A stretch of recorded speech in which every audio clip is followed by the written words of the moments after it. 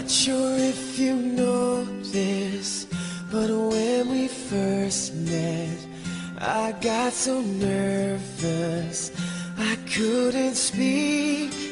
In that very moment, I found the one, and my life had found its missing piece.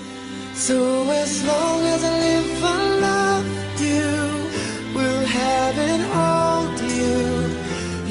so beautiful in white. And from now to my very last breath, this day I'll cherish. William, do you give yourself willingly and lovingly to Roseanne, your wife?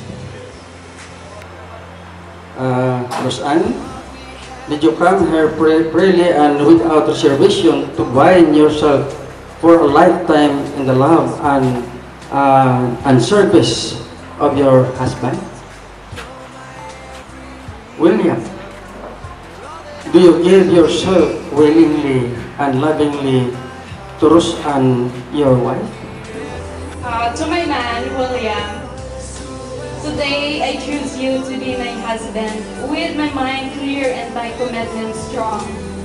I promise to be faithful, honest, and supportive as God watches over us. I will be the wife you need, deserve, and have chosen.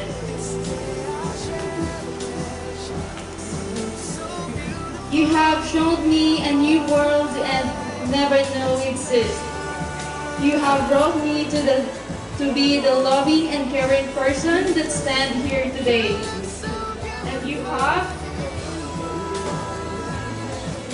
and you have accepted me into your heart as flawed as I may be.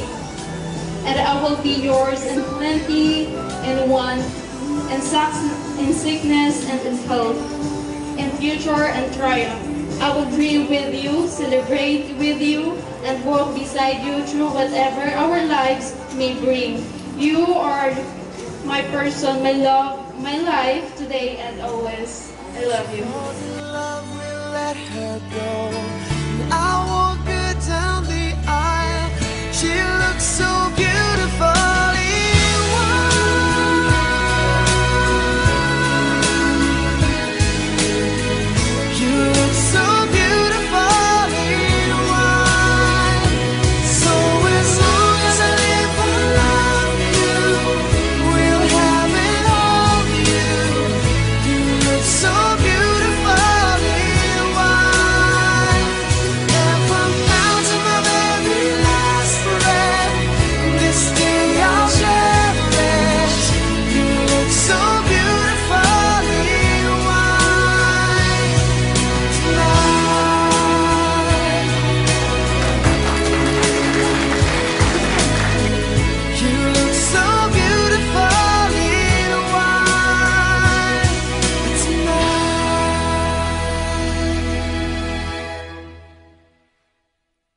Palangga Taka. Okay.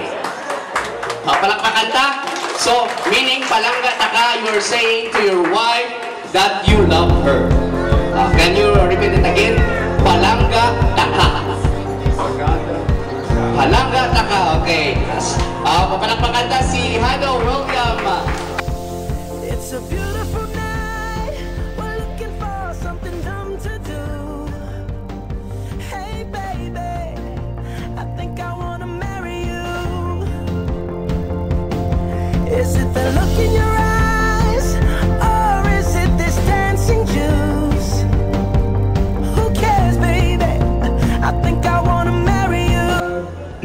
Magpapasalamat din ko nga sa ating bata na matigayon ang ilang nga kasal nga bisang ano na naidila nila nga magatuman ang ilang katuyaan na para nga mag-aupod sila bilang isa ka pamilya. Ano nga ako lang mambal siya. Tinuan mo nila nga ang ila pang abuhi eh may ara may pala butong naman nasa uli ang ila pamilya kung kapang pa ilang uh, buwan. Nga pala na pan sa kaibigan, hindi sa kasi hindi sa ako. Sila na lang may chindihan na yung buha ko. Nung ginambal ko din, sila na lang naya. Eh, ako hindi kaya ka ambal sa English kaya nabot kaya insindihan. Kaya po sa akong sa tanan sa ano, nagpapasalamat din ko sa inyo na uh, kita mo kay na tigayon din ng uh, pagi man sa inyo nga mga maninay nga ikadwa nila nga amay ah. Kung sa ako niya, okay naman sin- okay naman ko sa ako nga, no, sa akong problema.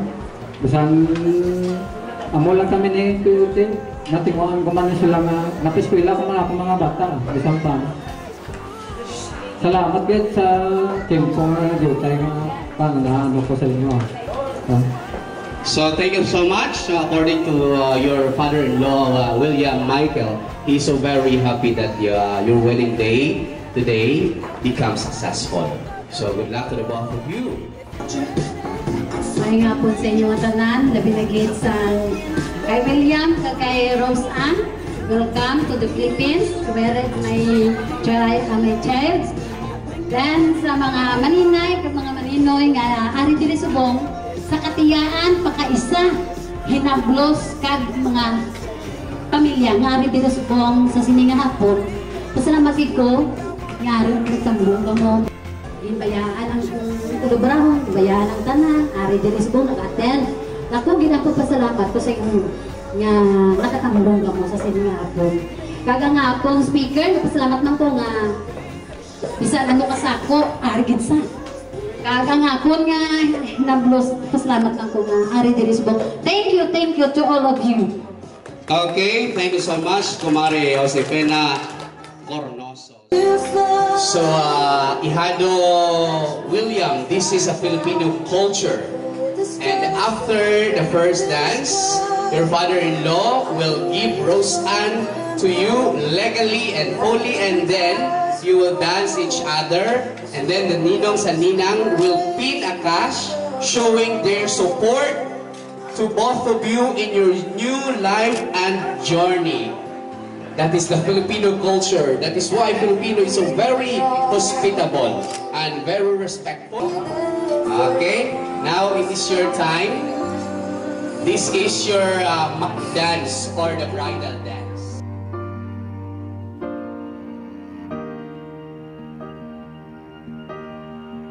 I have a training uh, at Bacolod City uh, Thursday and Friday. But uh, she told me uh, nang kinanglan, uh, you are needed, ma'am, in the uh, wedding of Rose Ann. Uh, so after our training uh, at 12 uh, noon, I immediately go to the terminal to dali-dali kids ko. No? So I'm glad that I'm here.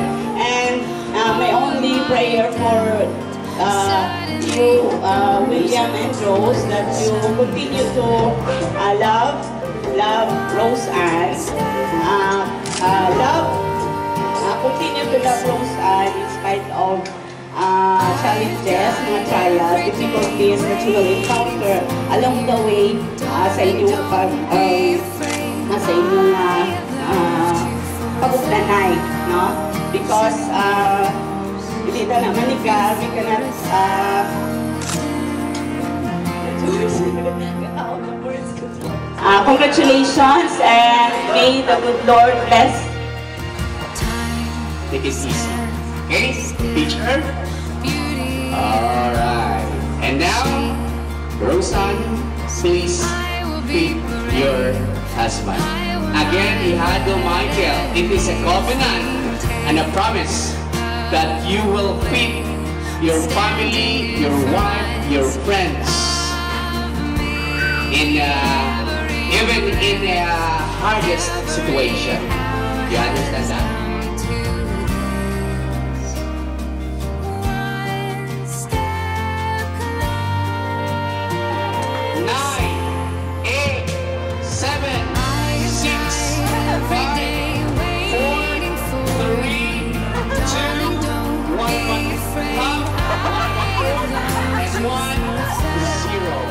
Congratulations once again.